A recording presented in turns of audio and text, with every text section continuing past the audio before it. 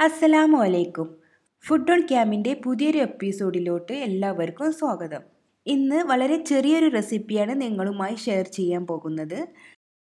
ബീഫിന്റെ എല്ലും അതുപോലെ തന്നെ നെയ്യൊക്കെ വെച്ച് പണ്ട് പൊറോട്ടയുടെ കൂടെ ഒരു ഫ്രീ കറി ഉണ്ടായിരുന്നു.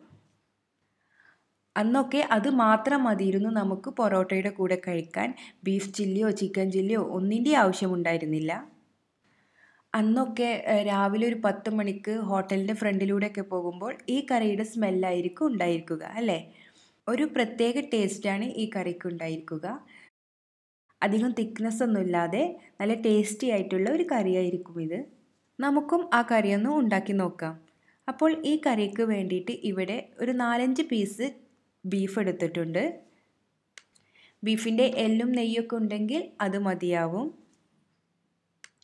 ഇതിലോട്ട് ഒരു ചെറിയ സവാള അരിഞ്ഞതും അതുപോലെ തന്നെ ഒരു ചെറിയ ടൊമാറ്റോയും ഇട്ട് കൊടുക്കാം.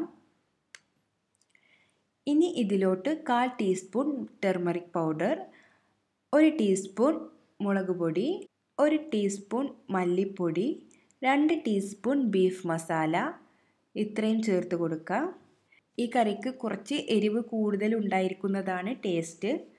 പിന്നെ ഇതിലേക്ക് ആവശ്യത്തിനുള്ള ഉപ്പും ചേർത്ത് ഒന്ന് മിക്സ് ചെയ്ത് കൊടുക്കാം. ഇനി നമുക്ക് കറിക്ക് ആവശ്യമുള്ള വെള്ളവും ചേർത്ത് ഈ ബീഫ് ഒന്ന് വെന്ത് വരുന്നത് വരെ നമുക്ക് വേവിച്ചെടുക്കാം.